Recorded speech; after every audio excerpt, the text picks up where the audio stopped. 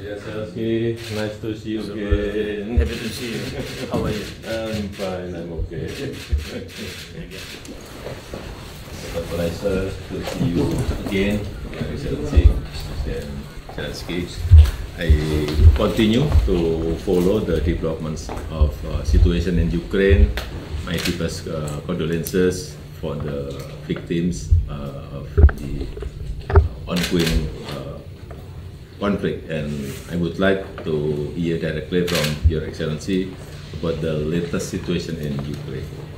I uh, remember your your visit to Ukraine. You've been one of the first been in Ukraine during such tough periods. These, you know, first months of the Yeah. war, they've been very difficult for us. So thank you very much. We'll never forget it. And thanks for this support. And all these boys